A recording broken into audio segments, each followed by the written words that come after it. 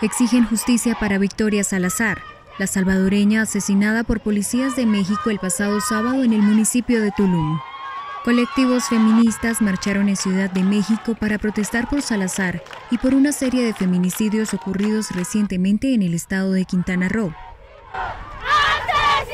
Estamos aquí pues la mayoría por solidaridad con las chicas, por solidaridad por todo lo que está pasando para visibilizarnos, para que sepan que todo lo que está haciendo la policía, todo lo que nos está haciendo el gobierno, todas las cosas que están pasando y que tienen que ser escuchadas y que tenemos que ser escuchadas de alguna u otra manera.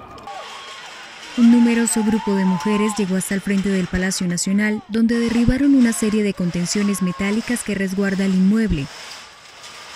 Tras hacer esto, un grupo de feministas se enfrentó con mujeres policías que resguardaban el recinto y que acompañaron a las mujeres durante su trayecto desde el Monumento a la Revolución. Justicia para Victoria se leía en las pancartas de las manifestantes, que recordaron que en México en promedio asesinan a 10 mujeres cada día. Yo por eso estoy aquí, por cada una, porque somos todas. No es Victoria, no, no, no, no, no son pocas, somos todas.